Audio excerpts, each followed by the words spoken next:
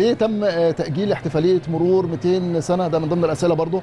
آه، على معبد آه، أبو سمبل. ليه تم لا، لأن- لأجل غير مسمى؟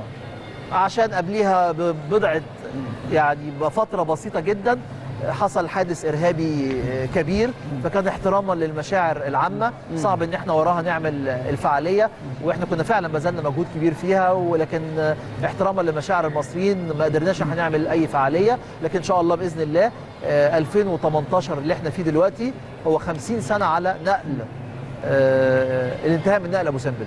يوم 22 سبتمبر 1968 فإن شاء الله هنعمل بإذن الله نعمل فعالية ثانية إن شاء الله.